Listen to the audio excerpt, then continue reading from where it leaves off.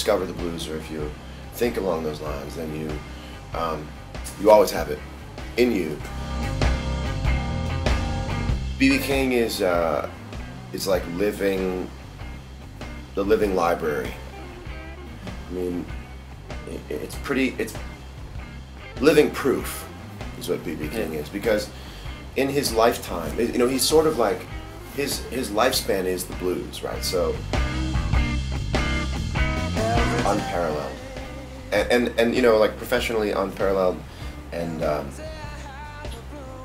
and uh, music lover. I think about Albert King every single night I play the guitar, and it's a musk. It's a workout. It's a muscular thing.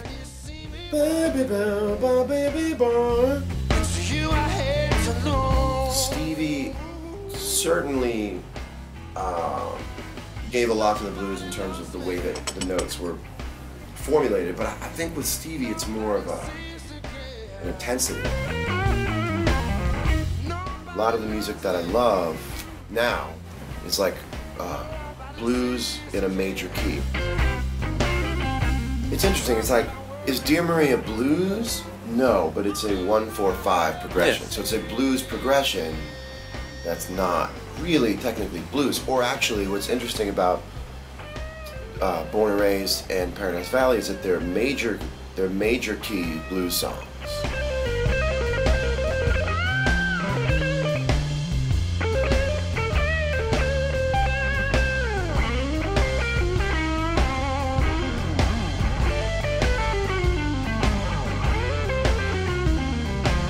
Such an unschooled guitar player. I never use my pinky or my ring finger.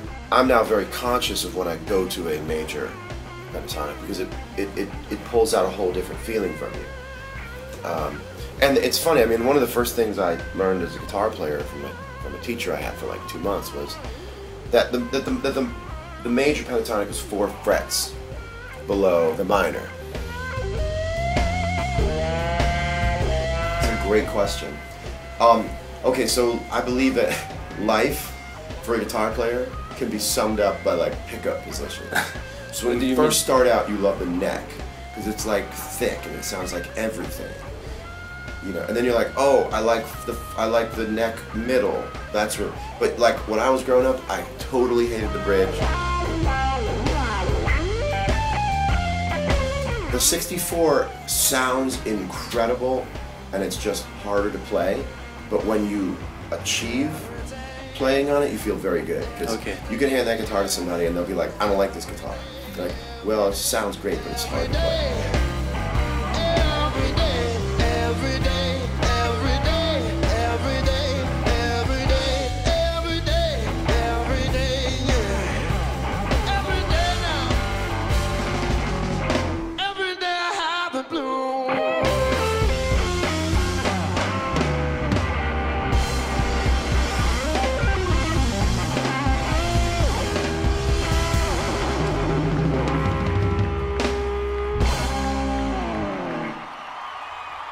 Thank you. Steve Jordan, Pino Palladino. We are John Mayer Trio.